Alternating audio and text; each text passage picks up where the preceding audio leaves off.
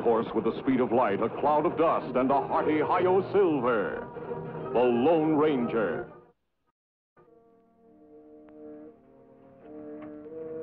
Kemo Sabe, come, quick. Look. Him go toward Fort Picacho, but him take Winter Trail. He'll never make it. Come on.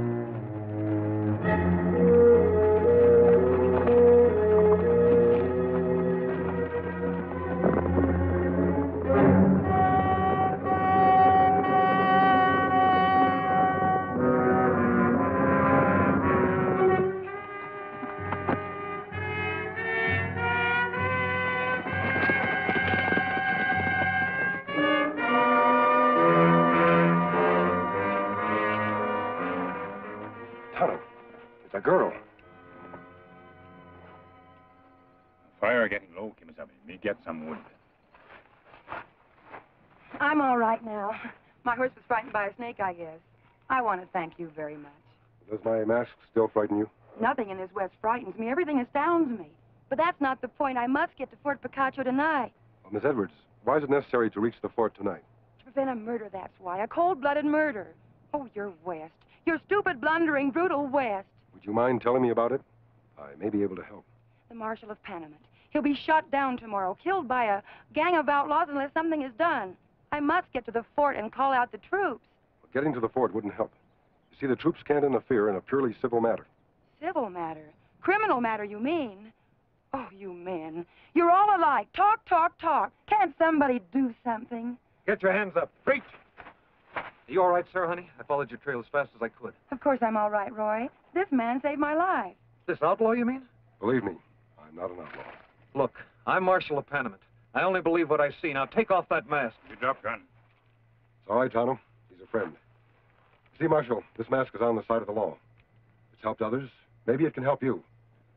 Suppose you tell me what happened. I reckon I got no choice. Go ahead, Roy. Tell him. Let him see how idiotic a town full of men can be when they set their minds to it. Well, mister, I've only been marshal less than a year. I got my badge about the time Sarah here came out from Boston to teach school. I engaged to teach children. Had I known the whole town needed educating, I would have stayed home. Panamint was a law-abiding town before Joe Hunsaker moved in. I'm coming to that. I arrested one of Big Joe's men last Saturday night, a gunslinger named Sonora Kid. Him bad medicine. Plenty bad. I threw him in jail. He's there now waiting trial. What's the matter with that, Marshal? Just this. This creature, this big Joe, whatever his name is, sent word into town that if the Sonora kid is not turned loose by noon tomorrow, he'll come and get him. And if Roy stands in his way, that'll just be too bad for him. Well, certainly Roy's not alone. He must have the townspeople behind him. Too far behind him, if you ask me. Just let me tell you what the good citizens of Panamint did to meet this challenge. I know. Order! Order! Quiet now. Charlie Matthews has the floor to give us a businessman's point of view. Judge, folks, let's face this calm and sensible. Big Joe means what he says. He'll ride into town tomorrow, his gunmen with him, and they'll take the Sonora kid out of town to do it. So I say, let's beat him to it. Let's let the kid go now and save our property and maybe some lives. Now, just a minute. I listened to all the guff I'm going to. You back down now. You let Big Joe know you're scared. And him and his gang will move in on you sure as shooting, and I mean shooting. Why, he'll take your property and your lives, too, if you as much as let out a squawk. I say let's call him. I say the kid goes to trial. Order! Order! Quiet. Cal Ames has been trying for ten minutes now to get a word in. Yes, Cal. I know how you feel, boys. As banker and Wells Fargo agent, I've got more to lose than most of you. But I'm on Roy's side. Marshal Bell is the law. And if he says he can deal with Big Joe Hunsaker, I say let him deal with him. Besides, Roy's no slouch with a gun. I got a good chance. Chance? What kind of a chance has an honest man got against a gunslinger that makes a business of killing? Justice isn't a matter of chance, it's a matter of right and wrong. And you don't decide that by who draws the fastest gun. Just leave it to chance often enough, and there won't be anyone left but thieves and murderers. All the honest men will be dead, shot down in one vast, insane shooting gallery. But they wouldn't listen. And you were the worst of the lot. Did you suggest anything to do about the situation, Miss Edwards? I surely did. It's as simple as ABC. When Big Joe rides into town tomorrow, let every man that owns a gun take cover. Then from the windows and the doors, shoot him down like the mad dog he is. Kill him before he kills anyone else. You mean bushwhacking? From hiding without even giving him a chance to draw. I told her it would be cold-blooded murder, even against Big Joe. It would be nothing of the kind. It would be execution. Pure and simple. The execution of a known killer. Roy isn't an executioner, Miss Edwards. He's a marshal. And a marshal can't shoot a man down in cold blood. Then what's your solution? I want you and Roy to go back to Panamint. Back to Panamint? And let Roy face that killer alone? I promise you, Roy will not face Big Joe alone. Look, stranger, I don't need any nursing. Thanks just the same. Big Joe don't scare me. Now, come on, honey. Don't honey me. Go on and get yourself killed if you want to. I don't care. Why did I have to let myself in for this? Why did I have to fall in love with a an infant? All spunk and no brains. Oh, now, honey, you... Oh, Roy.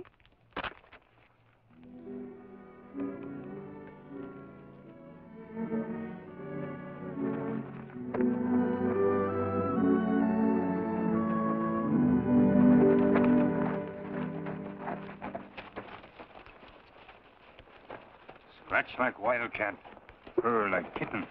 Me think him have two women in one. She'll scratch to save him, purr to please him. He's a lucky man, Tonto. We've got to see to it that Big Joe doesn't change his luck. Come on.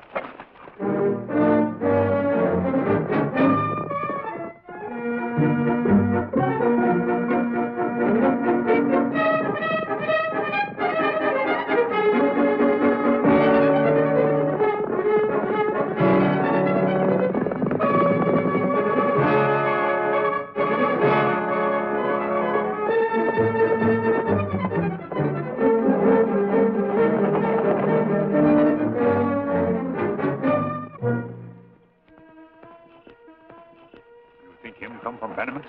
sure of it. Equally sure he's the key to the whole situation. We've got to find out who he is. Come on.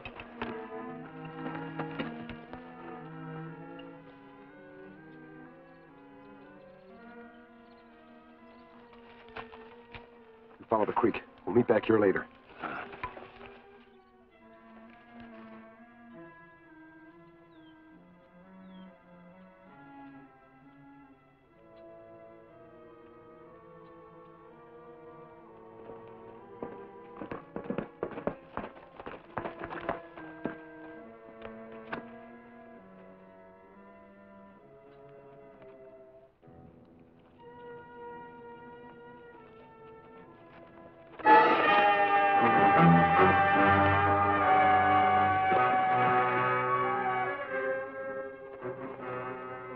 Right, come on, Injun, let's go.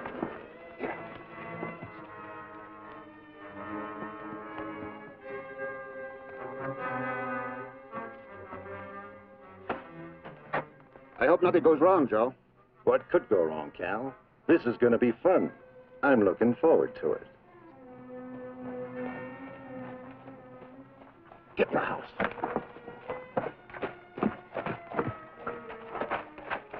What are you doing here, Injun? Got him sneaking up the canyon. What are you doing here, I said? Who sent you? You know, Brad, I think this poor fella's got something stuck in his throat. Take him over yonder, see if Tom can get it out.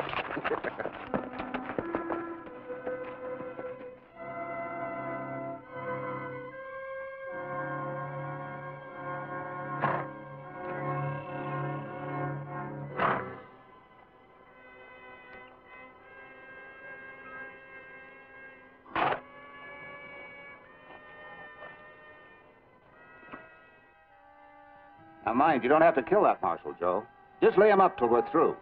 Fella gets used to shooting straight. Ain't so easy to aim crooked, Cal. Just you leave it to me. When's that big gold shipment due in? Early next week, maybe Wednesday. No later. Perfect. Couldn't be better. Bye, Cal. Joe?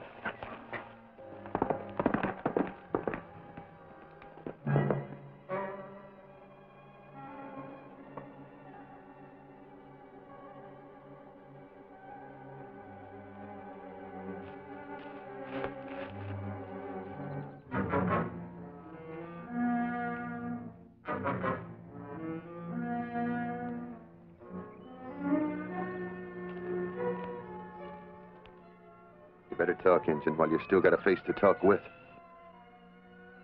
This is your last chance, Injun. Spell it.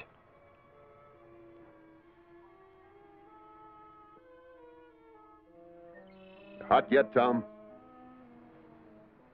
Plum white. I talk. Now, who sent you? Tonto. Now, Brad?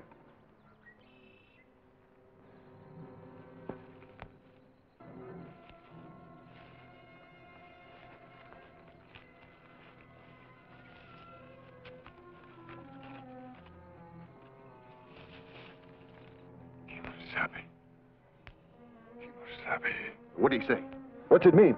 Ah, some Indian lingo. How about it, Brad? Now? Yeah, go ahead.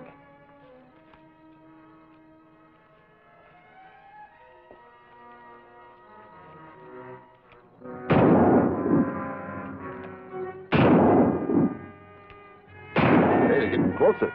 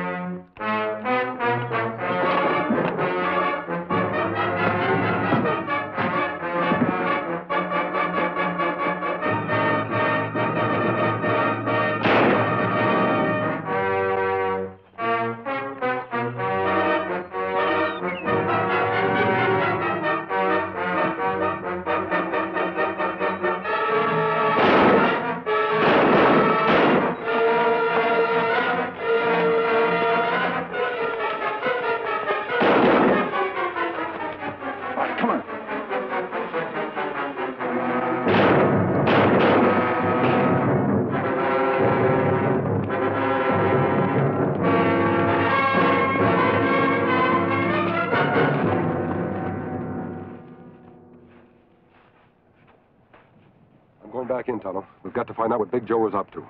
Set up a camp. Hide the horses as far back as you can. Me do that, Kemo Sabe. Right.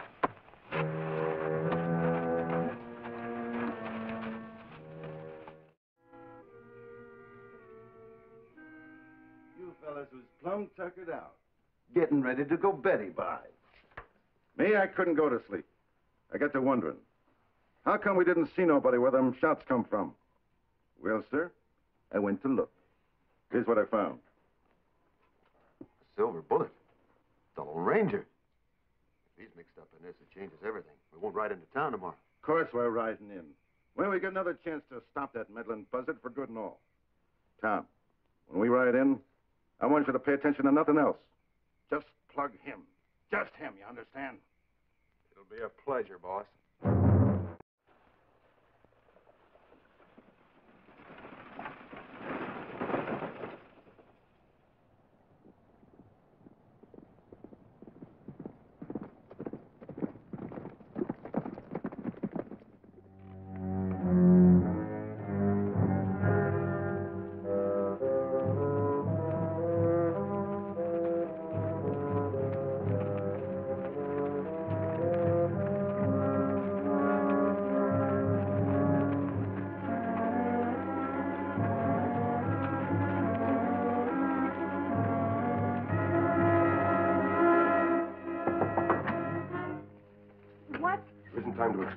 Explain. Joe's riding in at 10 o'clock.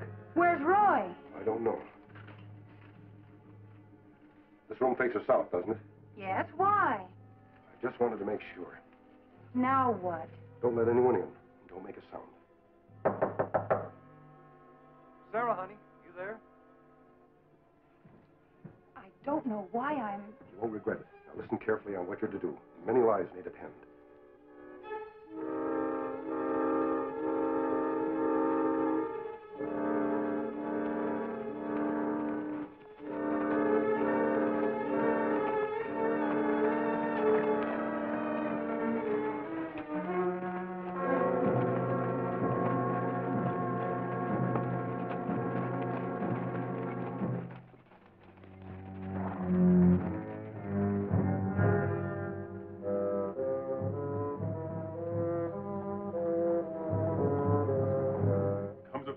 Like he'd been sent for.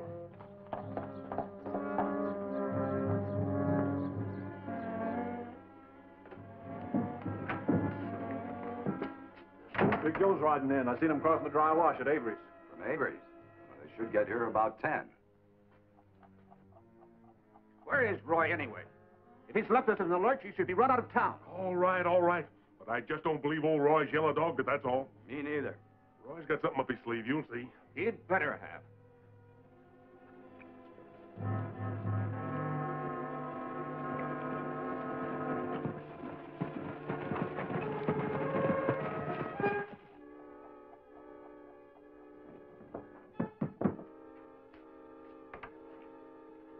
Anybody seen Sarah, Miss Edwards, this morning? Marshal Bell. Instead of worrying about a young lady who's probably safe in her room, you'd better give a little thought to your duty. Oh, there's plenty of time. There are precisely eight minutes of time. How come you're so sure of that? Why, uh, why, everybody knows, Roy. Big Joe's outfit passed Avery's five minutes ago. All right, he comes, I'll handle him. I'll handle him. But you all listen here. This isn't only my fight. He's riding against the town. I'm no army. I want some deputies. Well, come on. I got a pocket full of badges. Who'll pin 'em on? Well, I would, Roy, but uh, I'm a family man. Me too, Roy. I, I just can't risk it. Give me a badge.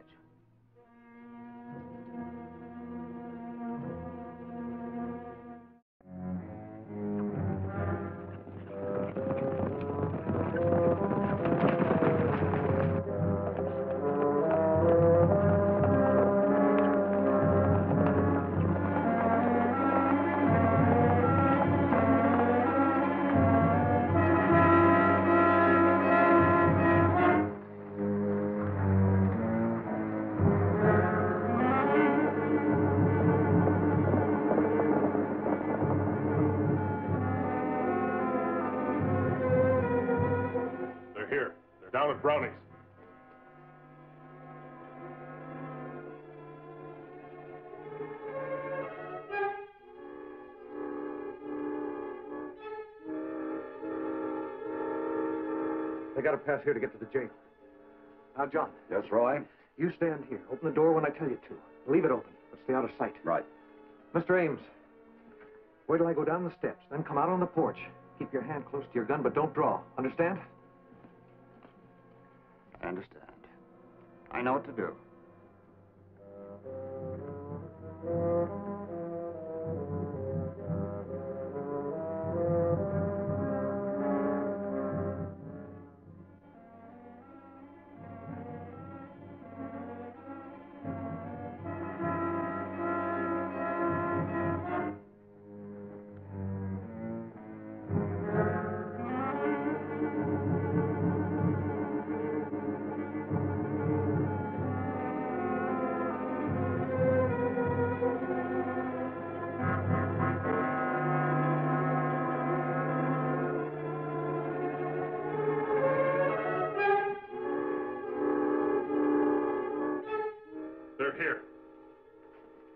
John.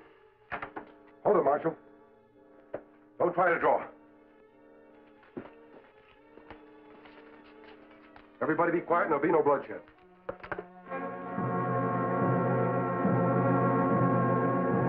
You, out in the street. Me? You mean me? There's a law against carrying guns in this town. No, tell me about it. You heard what I said? I'm coming for yours. you hear that, boys? He's coming for my guns.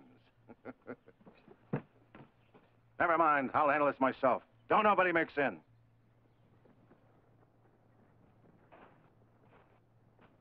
I'm not going to let him do it. Oh, better you stay inside. But it's not his job. Him help you.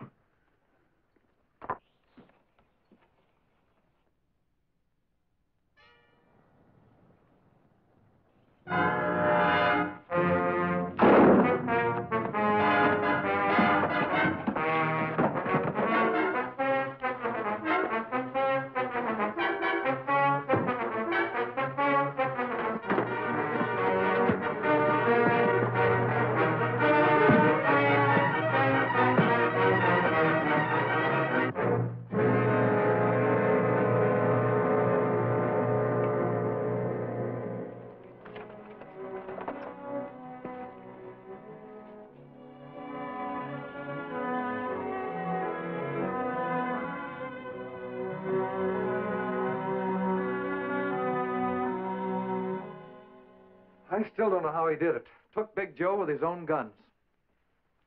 He was helped, darling, Help. from on high. On high, what do you mean? Tell you later. Well, can't you even tell me his name? Well, they call him the Lone Ranger. Hi-yo, Silver!